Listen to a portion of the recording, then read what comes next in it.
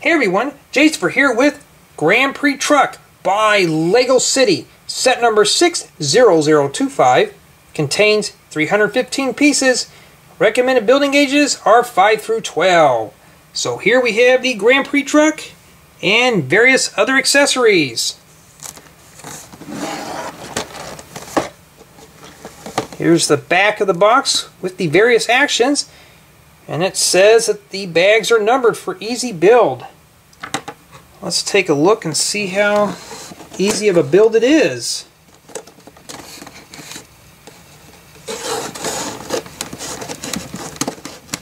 That does not want to cut in that corner. Here we go.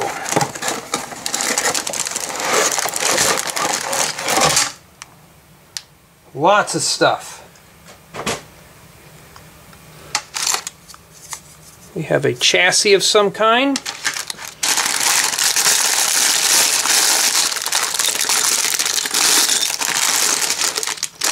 Three numbered bags. A set of stickers.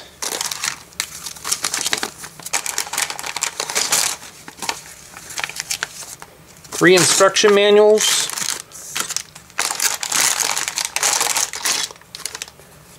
A 6 by 16 plate,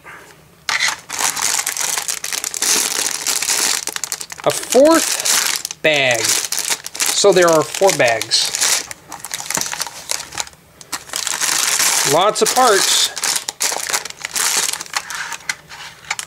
So before we can head to the races, we got to assemble the Grand Prix truck. So give me a few moments so we can take a closer look at everything. Now that everything has been assembled, let's take a closer look at the figures, accessories, race car, and the Grand Prix truck. First, let's take a look at the minifigures. All three torsos are printed. This gentleman on the left has a sign. It is supposed to say brake, but I choose not to put the sticker on the sign. These two gentlemen are wearing baseball hats with headphones, and those headphones can't be removed from the hat. This gentleman on the right is wearing a helmet with the visor.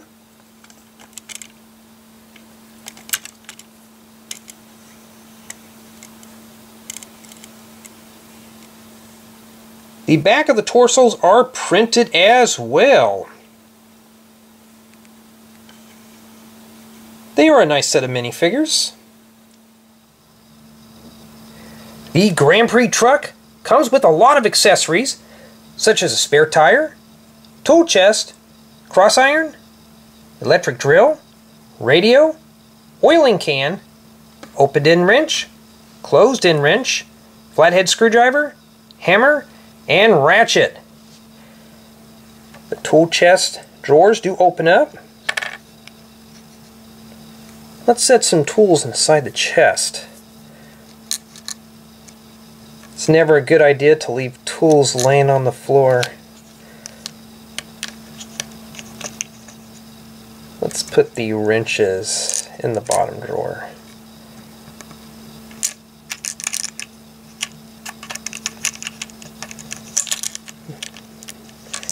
I think I overflowed the drawer with two tools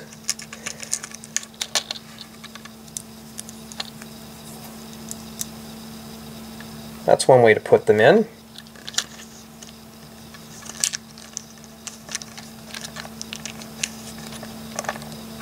Let's put the oiling can on the side. And the rest of the tools we can just stash in the front compartment of the trailer. And I will show that in a bit. Here we have the race car. Nice color scheme with black, red, white, and green.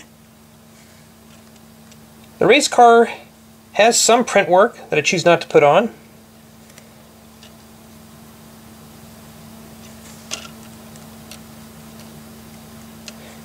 It is nice construction. The rear spoiler. The interior consists of just a steering wheel. Here we have a small wind visor or windshield. Let's place our race car driver inside. He just sits inside. He doesn't go down all the way.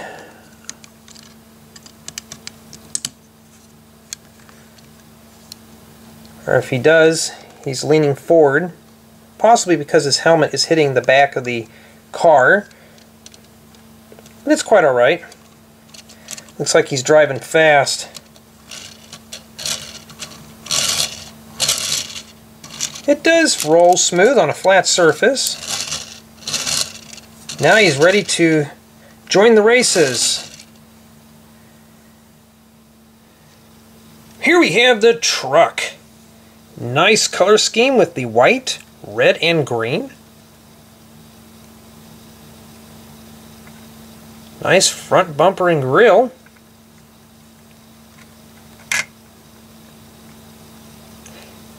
Nice use of the friction plates to attach the side mirrors. The truck does feature driver and passenger doors that do open up. Here's the rear. looks like this truck is missing an extra set of axles. Not sure why it was left out. Top of the cab does open up. Sometimes the mirrors do come off. So here's the interior with just a steering wheel. It does seat one minifigure, possibly two. Let's place this gentleman inside.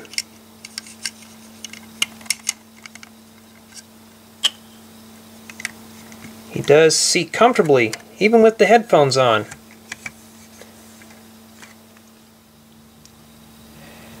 Moving on to the trailer. Looks like something's missing to level out the trailer.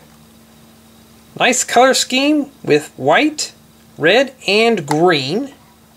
Here we have a set of doors that do open up for access into the front compartment.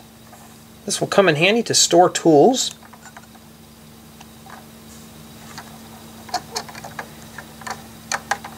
Here we have the rear this hatch does open up. Not much of a ramp. I will show that in a bit. Here's the other side of the trailer. Another set of doors. Let's attach the trailer to the truck. Just sets in place. Let's put the tools in the front compartment. We don't want to forget our tools. Or the spare tire. That walkie-talkie just did not want to go inside. There should have been a tool rack attached to the door instead of just throwing the tools inside the compartment.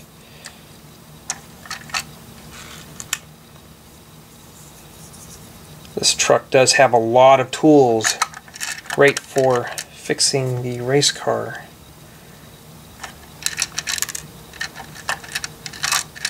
Well, let's just throw everything in there and close the doors real quick so nothing falls out. This compartment does open up does swing out of the way. Great access for the race car.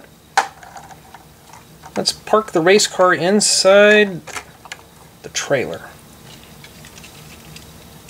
As you can see, it doesn't quite go up the ramp. So you have to help the race car park inside. Back does close up all the way, as well as the access door on the side you can see. Plenty of room for the car. It is easily removable. This top piece can also come off, but it does take off some of the other pieces, so I advise leaving this on. I'm not sure if this is supposed to be removable or not. Let's take a closer look at how the car goes inside. Have to help it up the ramp again. But it does park all the way. Everything closes up nice.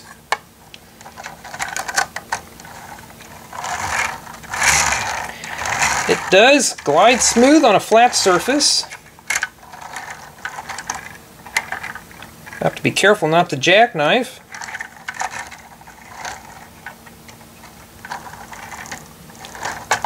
Now we're ready to head off to the races. Let's take a quick look at these spare pieces.